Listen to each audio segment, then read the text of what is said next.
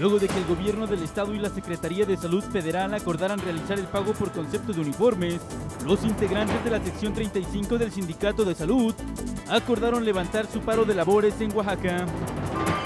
Un grupo de trabajadores del Servicio Postal Mexicano denunciaron que fueron despedidos de manera arbitraria por instrucciones de sus autoridades federales. El presidente municipal electo de Santa Lucía del Camino, Raúl Cruz, inauguró las jornadas de servicios médicos, odontológicos y jurídicos gratuitos en esa demarcación.